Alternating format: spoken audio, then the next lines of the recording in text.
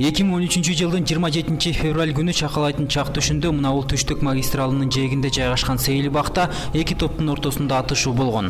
Анын натыйжасында отуз эки жаштагы мирлан жоробаев көз жумса жыйырма үч жаштагы ислам атабековдун бутуна ок тийип учурда ал ооруканада. Милиция кызматкерлеринин айтымында атышуу тогуз миң доллардын айынан келип чыккан. Карыз берген жана алган тарап ортодогу акча маселесин чечип алуу үчүн сейил бакта жолугушкан. Көп өтпөй эки тараптын ортосундагы түшүнбөстүк атышууга алып келген. Октябрь ички иштер башкармалыгынын жетекчилери ошону менен катар эле шаардык ички иштер башка башкарманын жетекчилери болгон окуя жерге барып чыгып келген алар бири бирине карыз акча беришип ошолордун убагында бербей калгандарынын негизинде келип ушул жана чыр чатак чыгып ушул шаардын четинде жана парковый зонада бири бирин ачкан негизи ушул жердеги баягы организаторлор же болбосо тыктап айтканда булар айтып атат да бир үчтөн үчтөн келип ошол жерден сүйлөшкөнбүз депчи ал жерде там туугандары да бар экен бири бири менен эле тааныш экен да мурун элечи анан бирөө тогуз миң доллар берет да.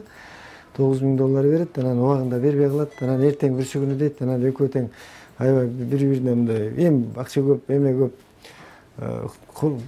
кыйын болушуп наезд кылышып анан кийин э чыкчы бияка тияка чыкчы деп. Анан жанагындай разборкага келген да жогорудагы кылмышка төрт адам шектелип алардын экөөнүн өздүгү аныкталган. Бири кырк бир жаштагы касымбек эргешов учурда издөөдө кийинкиси жеңиш дооталиев. Кылмышка шектелип кармалып бишкек шаардык ички иштер башкы башкармалыгынын убактылуу кармоочу жайында.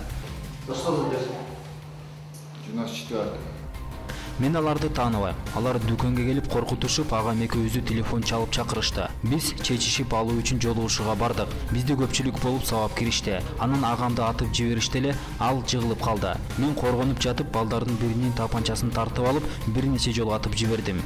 Бирөөсүнүн башына ок тийгендей болду. Анан мен качып кеттим. Он упал меня нападали я отбивался бүгүнкү күнү жогорудагы факты боюнча кыргыз республикасынын кылмыш жаза кодексинин токсон жетинчи биринеси адам өлтүрүү боюнча кылмыш иши козголуп тергөө амалдары жүрүп жатат